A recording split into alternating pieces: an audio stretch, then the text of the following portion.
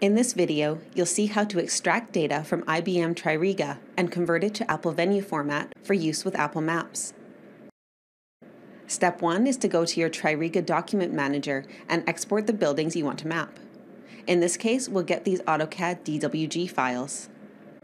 The dataset has one AutoCAD file per floor, and the files link to their associated database with information about facility usage.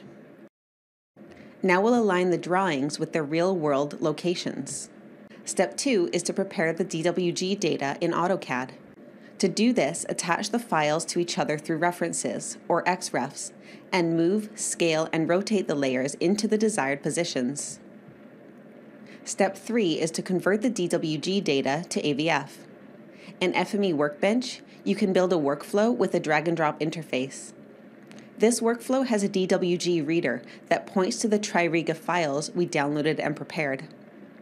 The data is then sent through a series of transformers to restructure and prepare it for the AVF output. The output that passes validation is sent to an AVF writer, while the output that fails is generated as an HTML report. Because Tririga is effectively a CAD standard for geometry, a Tririga to AVF workflow can be used across any organization, making your CAD data ready for Apple Maps whenever you need it.